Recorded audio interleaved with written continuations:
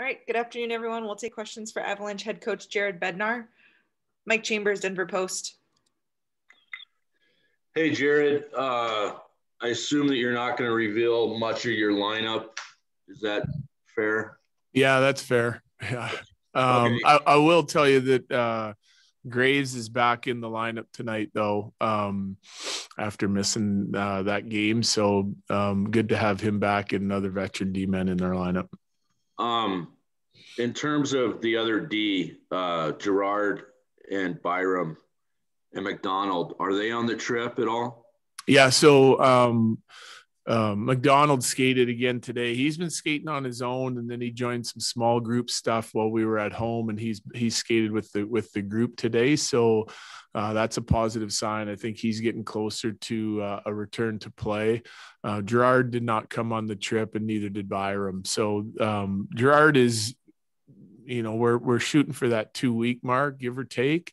Uh, hopefully everything goes well with him and he can hit that mark. Um, so he'll, I would, I would expect him to start skating with our team when we get back, and then uh, build up to a return to play if everything goes smoothly. But we won't know until we get back off the trip.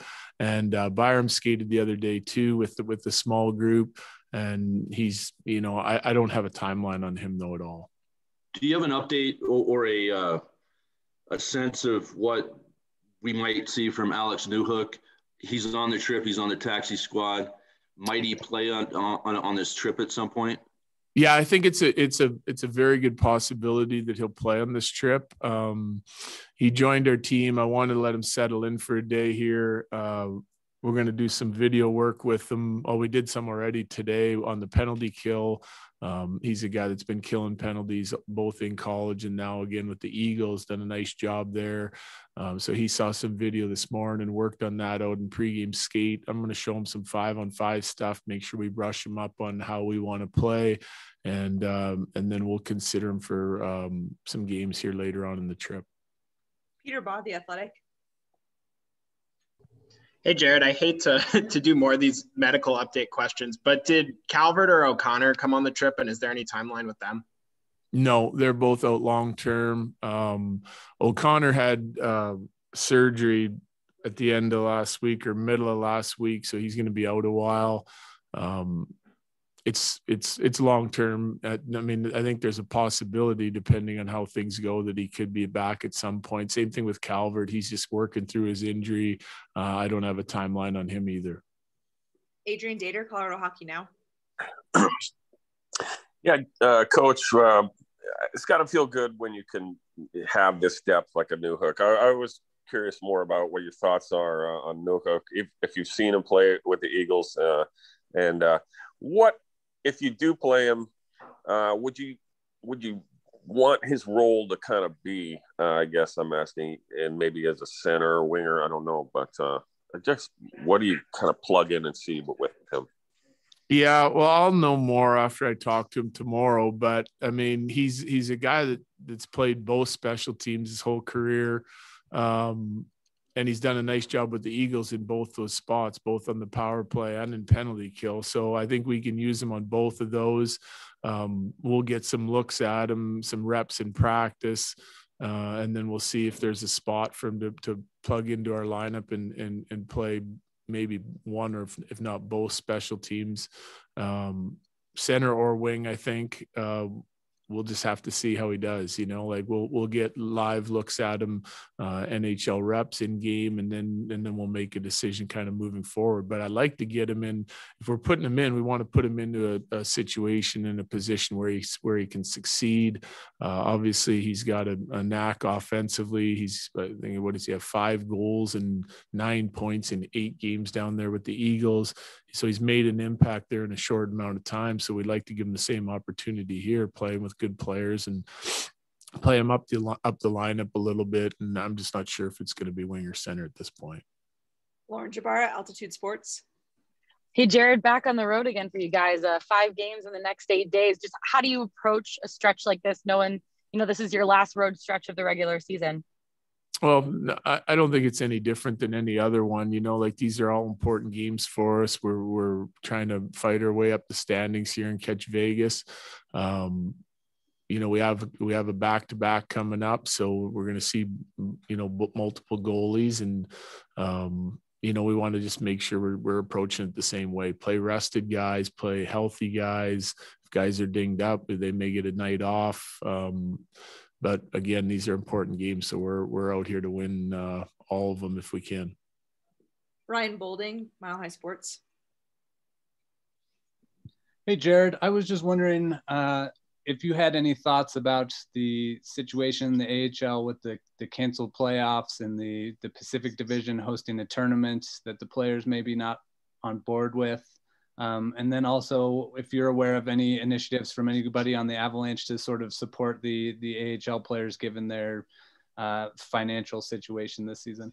Yeah, I, I, haven't talked to those guys about it. I mean, um, I was happy that they were going to play a, uh, you know, for a little bit longer because I think we got some guys down there that can um, use that time for their development and, and get adjusted to pro hockey, just sim- similar to what Newhook has, has just done. You know, it, I think it's invaluable for him to get down there, play some games, get get into our our system, and and um, you know get get adjusted to the pro game because it's a it's a big step from college and he's done that well and it, it's only taken him eight games and now he'll get a look with us here at, at some point on this trip. And I'd like to see the same thing from Sampo Ranta who took a little bit longer time with it with his immigration and and you know, he's down there playing games now and, and Barron, like all these young guys coming in, I think it's real good for them to, to, to continue uh, to take the next step in, in their development gearing up towards being able to come up here and help us play. And uh, same thing with our taxi squad guys that we've been shuffling. I think if they can keep playing, that benefits us. Um, there's there's some value in being up with us and practicing with us and and skating with Sean and and being around our team. But we also want to keep guys sharp, and and the only way to do that or the most effective way to do that is is for them to have in-game reps and um, so I, I was hoping that they're going to play and I understand both sides of it but I'm I'm I'm still hopeful that they're they're going to do that and and that they can get more games in down there so they're an option for us. Last one here for Jared. John Matisz, the score. Hey, Jared. I wanted to ask you quickly about the power play. So, Donskoy in that bumper spot really factored into both power play goals on Friday. I'm yeah. curious, what do you like about him in that role? And generally, what does the bumper guy do on the Avs power play? Like, what are you hoping that they accomplish out there? Yeah, so his his it's it's a you know there's multiple things that we need that guy to do, and and one thing that Donnie's really good at is he's he's good at supporting the puck. Um, and and getting us out of tight spaces there um, in the middle of the ice. You know, teams will pressure you down the wall. D will jump you. They try to squeeze our half wall guy or flush our half wall guy, and he's a, he's a release to sort of um, relieve the pressure and and get us to some open ice where we can you know get our heads up and use our skill to make plays. So that's one. Retrievals when pucks are going to the net and they get they get sent to the corners. He's he's got to be there quick to try and make sure we we keep the puck alive and, and sustain ozone ozone uh, time and continue with our pressure and, and, our attack. And for me, one of the reasons why I really like him in there, and he's both he's very good at both those aspects of the power play. But one of the reasons I like him in there is because he's a right shot and, and he he he pops into holes really well as a shooter. So um, teams tend to over uh, compensate or or try to take MacKinnon away on his half wall. And if you have to, you you know, Cale has to dump it back to Mikko, then he's got a shooter in there, especially if they're leaking out. And I think you saw that in, in again in the San Jose game. Uh, we sent it up top to Cale, and they they were stepping out and, and trying to keep the puck out of Mac's hands, and it opens up some space in the middle of the ice. And um, we found we went uh, Mikko into Donnie a couple times, and also Cale shot it with Donnie uh, as a tip option in the middle, and Gabe in the net front. We end up getting two goals that way on in the first game. So I think it just gives you more options when you have a righty in there, and and and being as good as Donnie is relieving pressure for the for the other guys and helping with retrievals. It, it, it's been a nice fit for us for sure. All right, thank you, Jared. All right, thank you.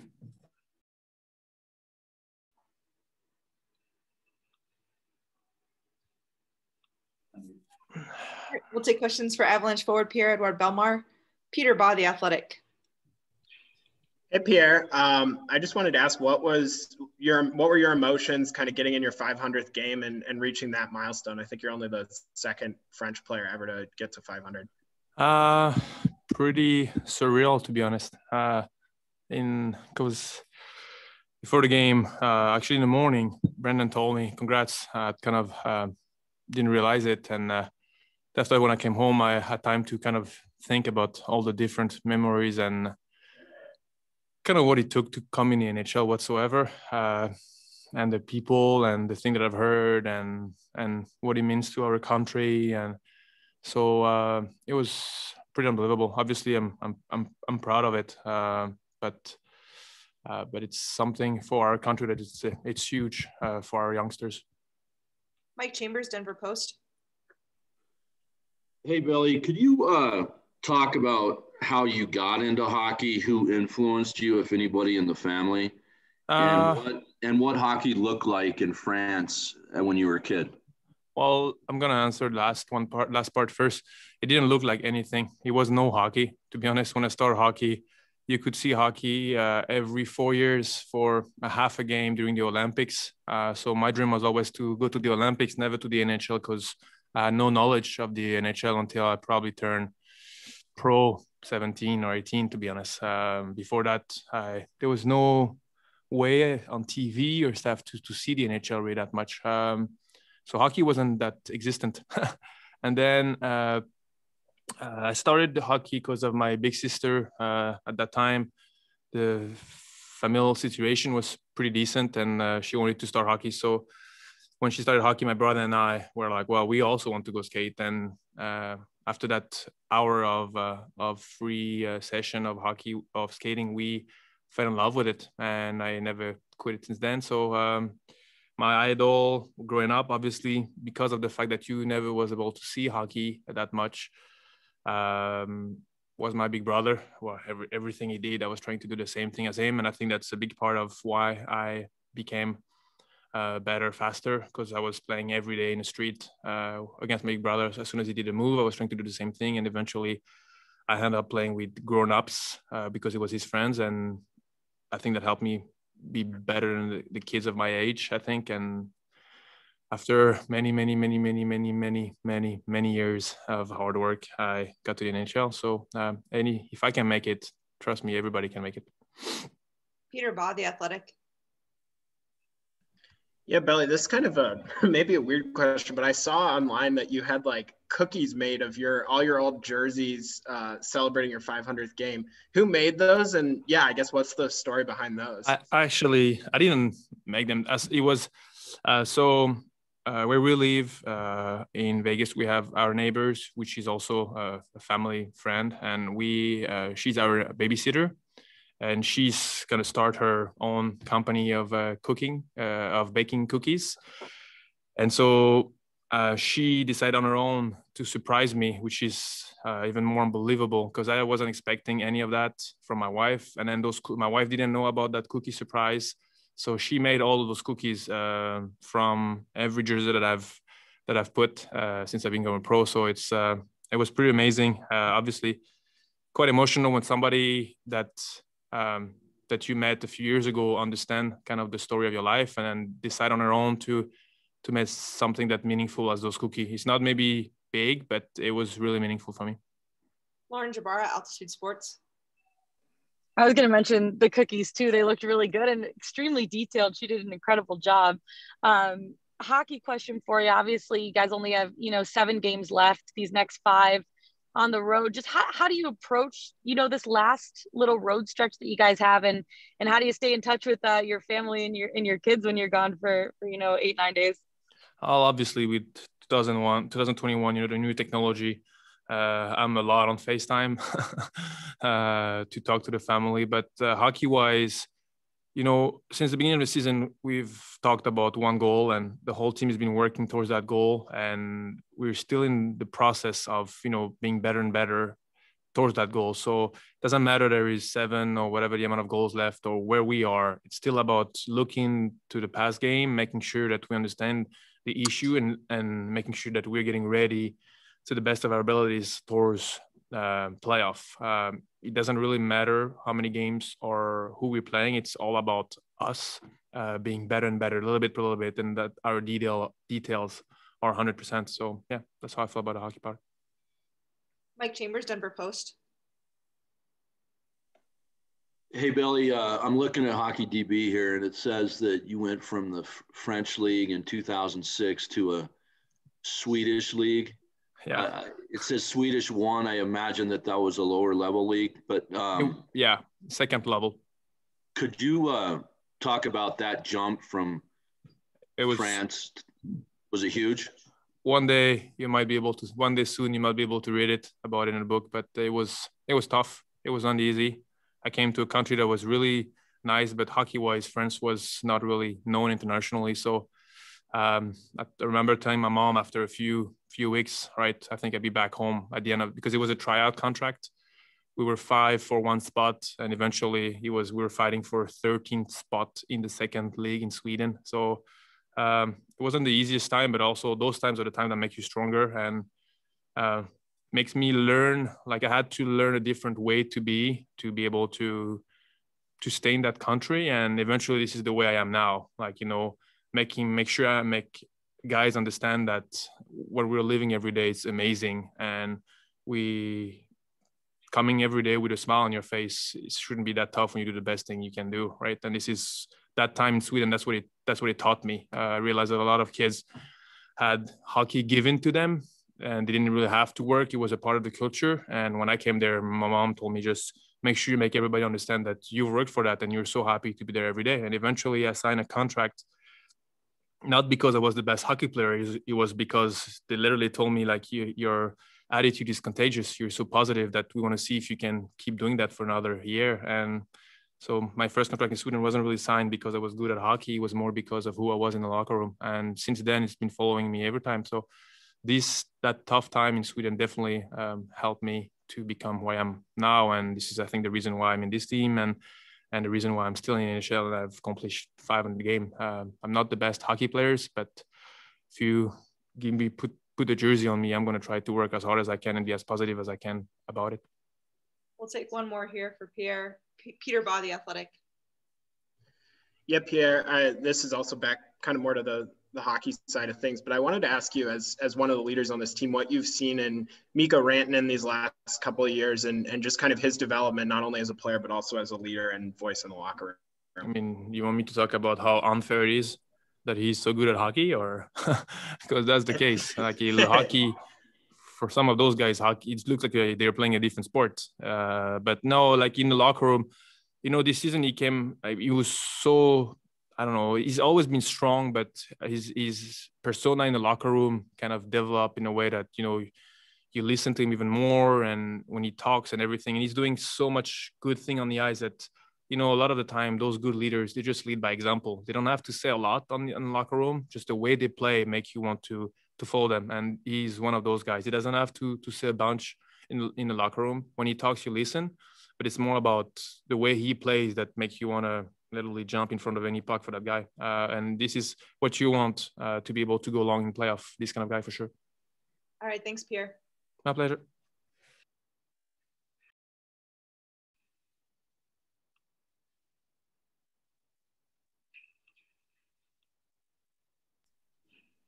All right, we'll take questions for Avalanche forward Andre Burakovsky, Peter Baugh, the Athletic. Hey, Andre, how's it going? Good, thanks. Good. Um, we just talked to Pierre a lot about his kind of reaching 500 games and, and his journey here. What has he meant to you as a teammate since you guys um, have come over to Colorado?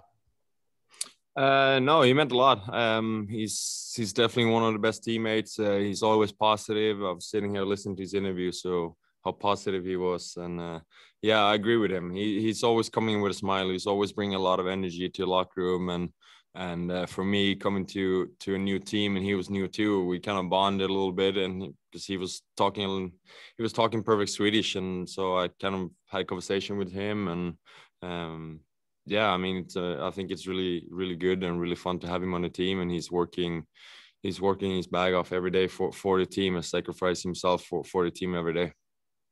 Ryan boulding mile high sports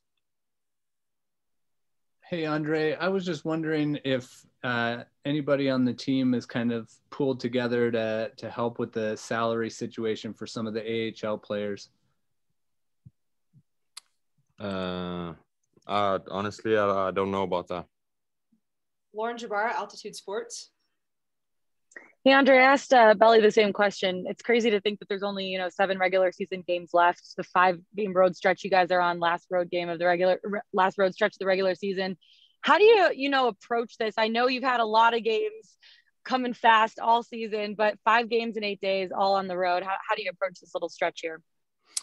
No, I, I think it's kind of, it's kind of been almost the same schedule. Feel like for for a while now. Uh, been playing every other day for I don't know along two months. So um, I mean, in between games, you're just gonna do whatever it takes to recover and get and get get ready for the next one. Um, whatever it is, treatment, um, stretching, yeah, whatever you need to get ready. I, I think it's really important to do that this time of year, especially when we have a really tight schedule the last couple of games and then jumping into playoff. We want to be as fresh as possible in playoff, and but but we're also uh, fighting for position here, so we want to be as good as we can in these last couple of games and, and get ready and win these ones uh, and then jump into the playoffs. So I think it's really important to just uh, do whatever you need to to feel as good as possible here. And for you, I mean, being on the road for this time, and you're not really allowed to go out, go to dinners, do anything. Uh, what Netflix shows are you into right now, and, and how do you stay busy on the off days when when you're not at the rink? Uh, me and Mikko, we uh, we bought two laptops, so we we're playing um, Call of Duty with each other every day. All right. Thank you, Andre. Appreciate it. Thank you.